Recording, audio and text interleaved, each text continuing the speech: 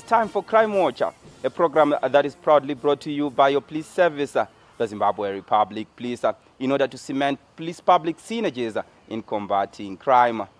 Elliot Kudzai Ganyani is my name, and thank you for joining us. The Zimbabwe Republic Police says no to stock theft cases and is calling upon members of the public to partner us in combating these cases. In a recent case in Harare, 98 goats were seized by police after a complainant had identified 16 of the goats as his. It later emerged that the goats belonging to the complainant had been stolen in Siakovu, Mashonaland West Province. musi wa19 october 2022 kwakabiwa mbudzi. Mbudzi dziri dzangu. Mbudzi idzi 23 chakatanga kuya mufungwa mangu ndakati ha saka mbudzi dzaenda.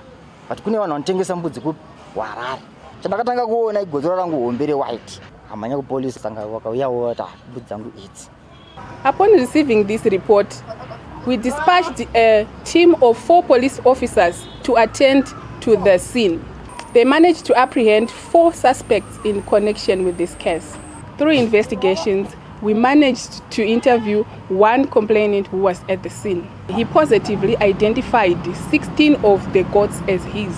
As police, we therefore suspected that all the goats, adding up to 98, could have been stolen. We therefore seized all the 98 goats and impounded the motor vehicle which was used to transport the stolen goats. We urge farmers to continuously check on their stock even when they are grazing during the day. It is also vital that you pen your stock each and every day. And prior to penning, count your stock to ensure that no stock are missing. Public utilities and infrastructure are there to render important services that are critical in our day-to-day lives. It is, however, disturbing that some people choose uh, to destroy and vandalize uh, these utilities. In a recent case, uh, the police spokesperson for the Criminal Investigation Department, that is Detective Assistant Inspector Rashom Teweri, spoke on the arrest of some people for theft and vandalism of these public utilities and infrastructure. Vandalism of public utilities and infrastructure impacts negatively on the country's economy. It retards development in that the vandalized infrastructure ceases to function, services will be disrupted, and a lot of inconveniences are caused as a result of vandalism of public utilities and infrastructure. And as such, we as the Zimbabwe Public Police continues to challenge members of the public to complement our efforts in safeguarding public utilities and infrastructure. Recently, police in Murewa arrested Simbarashe Tinashe Chitau for contravening Section 60 of the Electricity Act. Circumstances are that on 19 August 2022, the accused person, together with his accomplices, approached the security guards who were manning a farm in Juru area. They manhandled the security guards before tying them and robbed one of the security guards of his cell phone. They went on to vandalize a transformer before getting away with their loot. The security guards managed to untie themselves and mobilize the community who came to their rescue. A follow-up was made on the accused persons, resulting in their arrest.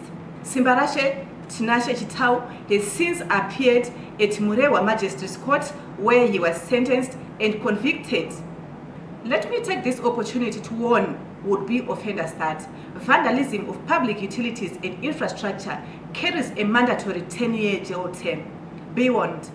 The National Development Strategy 1 uh, is focused on promoting the national economic development as pronounced by the country's Vision 2030 targets. The ZRP will continue playing its part in protecting the country's public utilities and infrastructure so that this vision yields to reality. Moving on, the Zimbabwe Republic Police is disturbed by reports indicating leakages of the 2022 ZIMSEC ordinary level examinations and is carrying out investigations to make sure that all criminal elements are brought to book.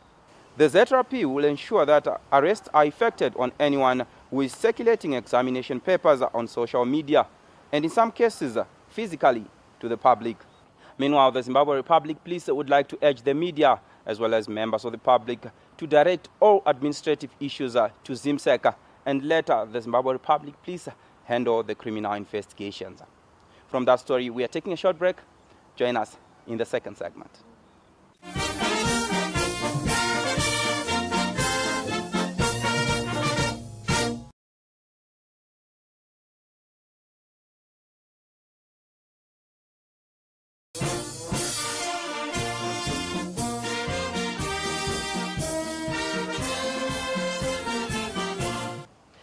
Uh, seeks to offer the highest quality service to the public and improve on efficiency and effectiveness in service delivery. In line with this, uh, construction of a new charge office and administration offices at Chinamora Police Station in Mashonaland East Province is underway following a groundbreaking ceremony that happened at the station. The community of Chinamora have their own aspirations, which is to see their station being transformed to provide a service par excellence, coupled by the est- establishment of a state-of-the-art charge office. The dream of a modern station has now transcended into reality, a reality that expresses the new dispensation's mantra of leaving no one and no place behind. Today, this quotation reflects not to inner growth, but a different type of development, where we see ZRP Chinamora migrating from using temporary fuel structures to brick and mortar. Today we are all witnessing the fruits of an enduring partnership between the police and the community. Indeed, such relationships deserve our collective applause and should be cherished by all well-meaning Zimbabweans.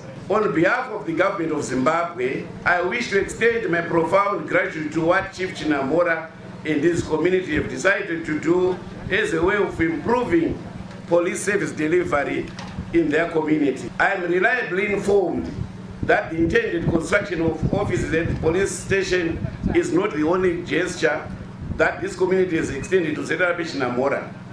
It is equally moving to note that the community has managed to drill a bore, acquire a transformer, and install a solar-based power backup system for the police station. I take these multiple kind gestures as a challenge to the police and redouble their efforts and work tirelessly towards making Chinamora community safe.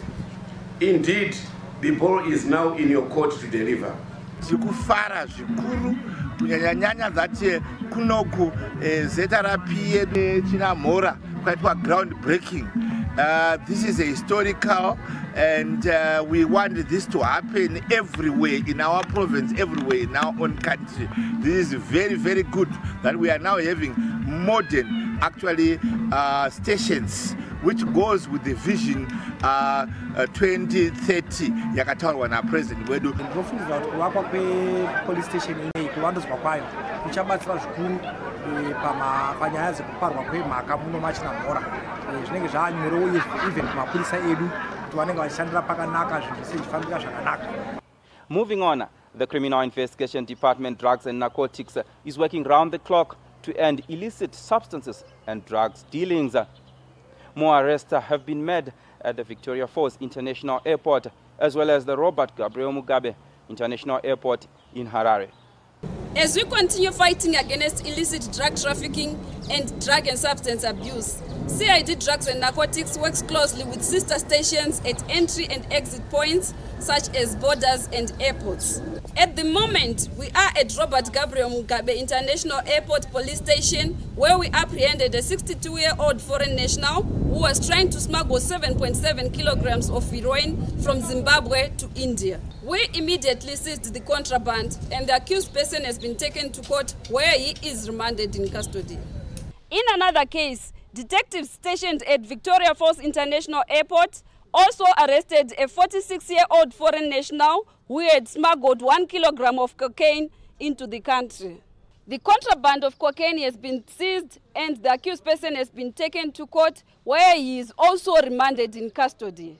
To all those who are using Zimbabwe as a transit nation for drugs, be warned. Road safety is everyone's responsibility. The Traffic Safety Council of Zimbabwe continues to inform and educate the public. There has been high volumes of traffic with children going to and from schools.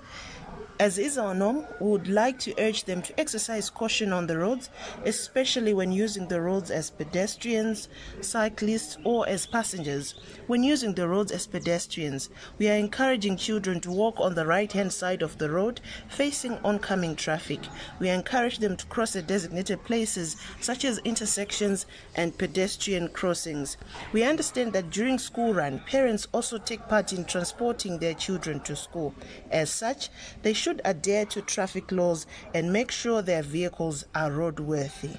For public transporters, we are imploring them to always be cautious on the roads. We say road safety is everyone's responsibility, hence, let us all be responsible road users to avoid losing lives.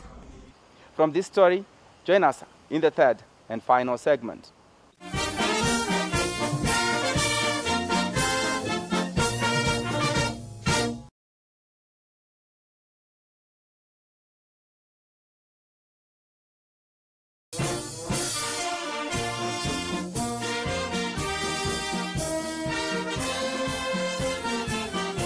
Welcome back. We are now in the third and final segment of Crime Watcher.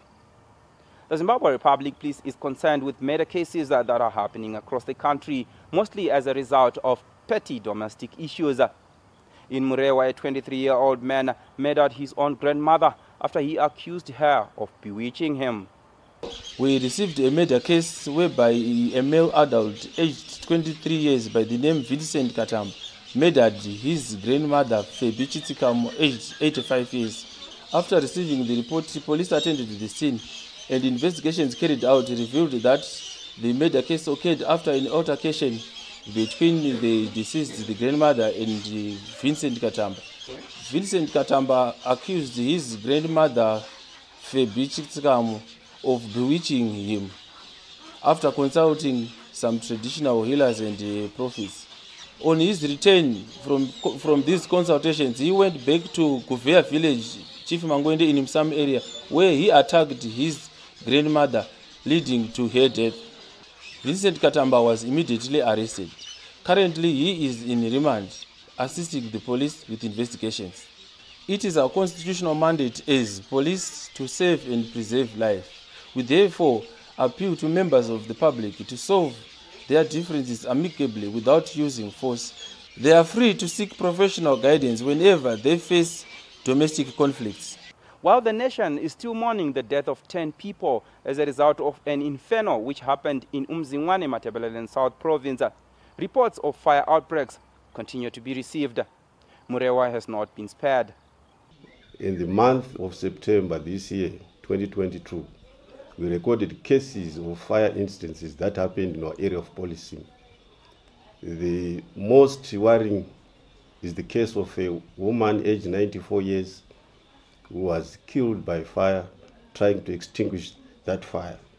And we also received another case of eight nuts belonging to different villages that were burnt in Madamombe village in Mrewa district.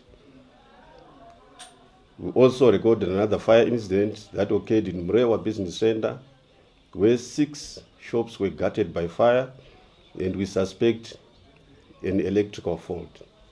Then on the 5th of October 2022, a shopping complex in Mutoko was gutted by fire again, and the hardware was destroyed. As Zimbabwe Republic Police, we appeal to members of the public to desist from starting open fires since we are in a fire season. I urge communities to form firefighting committees to assist each other in the event of a fire and also engage qualified electricians to connect any electrical connections. Should a fire occur, please be quick to alert the police so that we can engage relevant authorities. We visited some of the places that were gutted uh, by some of these fires uh, where property worth thousands of dollars was destroyed. There was a fire that gutted this whole building, which emanated from this very room that we are standing from. The damage yakaitika kwatiri yakanga iri so excessive. But one thing that I noted on this building was the fact that uh, there were parapet walls that we had they did not go to the certain level that would separate the uh, rooms, one room from the other. So when the fire started now, there was one roof on the whole building. So the fire traveled through the, the vacuum that caused uh, the, the, the burning down of all the buildings. It not been for that, it would have been maybe one room that was going to be destroyed. So it's a lesson that we learned that uh, when we build these uh, shops and whatever buildings that we might be building, we must have uh, precautionary measures so that we try to uh, in, insure ourselves from, from some such, such, such disasters. But the, the, the advice that I would give to the general public or whoever is going to have uh, structures being built, be it in their homes or whatever, business premises, farms, wherever, we need to standardize our structures, adhere to the regularization processes. We need not to have shortcuts in whatever we do. And I would want to advise as well people to have fire extinguishers in their areas of operation. Then, lastly, I would want to appeal to the local authorities uh, to, to, to, to, I mean, to spearhead maybe uh, a, a program that would facilitate an area like this area of ours to have at least a fire control uh, center. In the event that we have fires, if we don't do that, we're going to lose a lot of properties here. Let us take heed of these messages uh, so that we don't become victims of fire outbreaks. From those sad stories, we now move on to people who are on the police wanted list. Sakubva Police is looking for Tendai Tatire, age 32, of house number 165 Majambe, Sakubva Mutare, for a case of unlawful entry into premises and theft. Sakubva Police is also looking for No Rest Ziko, age 21, of house number 266 Chisamba Singles, Sakubva, for a case of having sexual intercourse with a young person. Lastly, Victory Police is looking for Talent Maposa of stand number 27, uh, Escadale Victory, for a case of theft. Should you have information that may help in locating any of these wanted people, please feel free to visit or contact any nearest police establishment. Alternatively, you can link with us on any of the following details. Our national complaints desk number is uh, 0242 703 631. You can visit our website at www.zrp.gov.zw. Email us on feedback at zrp.gov.zw. We also have a Twitter handle at Police Zimbabwe or Facebook page Zimbabwe Republic Police.